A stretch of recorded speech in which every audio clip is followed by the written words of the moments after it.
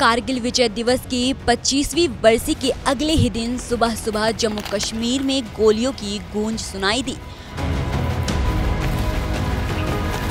कुपवाड़ा ज़िले में एक बार फिर सेना के जवान और दहशतगर्द आमने सामने आ गए। देखते ही देखते दोनों ओर से ताबड़तोड़ फायरिंग शुरू होने लगी। सैनिक आतंकियों को मुंहतोड़ जवाब दे ही रहे थे कि अचानक तीन जवानों को गोली लग गई। ये एनकाउंटर कुपवाड़ा के कुमकरी इलाके में हुआ। बताया जा रहा है कि सुरक्षा बलों को यहाँ संभावित आतंकवादी गतिविधियों की सूचना मिली थी, जिसके बाद से सैनिक आतंकियों को खोज रहे थे। इस दौरान जैसे ही जवानों की नज़र आतंकियों पर पड़ी तो उन्होंने बचने के लिए सुरक्षा बलों पर फायर झोंक दिया। फिर एनकाउंटर शुरू हो गया, जिसमें कम से कम तीन जवान गोली लगने से घायल हो गए।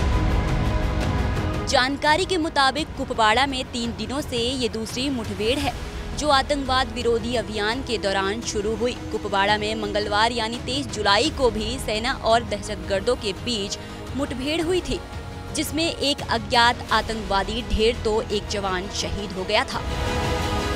सूत्रों से खबर है कि करीब 40 से 50 आतंकवादियों का एक समूह जम्मू कश्मीर के पहाड़ी जिलों में छिपा हुआ है। जिसकी तलाश में सेना के जवानों ने बड़े स्तर पर आतंकवाद विरोधी अभियान चलाया हुआ है। फ़िलहाल कुपवाड़ा में जवानों ने इलाके को चारों तरफ़ से घेरा हुआ है और चप्पे चप्पे पर सैनिकों की पैनी नज़र है। आतंकियों की तलाश में सर्च ऑपरेशन लगातार जारी है। लेकिन जिस तरह से जम्मू में आतंकी दहशत बढ़ती जा रही है, आए दिन आतंकी अपनी कायराना हरकत से जवानों को निशाना बना रहे हैं, वो चिंता का विषय है। ऐसे में केंद्र सरकार पर सवाल उठने लाजमी है।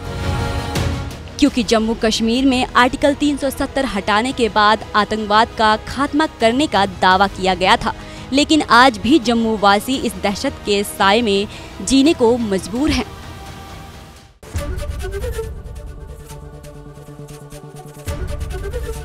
एबीपी गंगा, खबर आपकी, जुबा आपकी।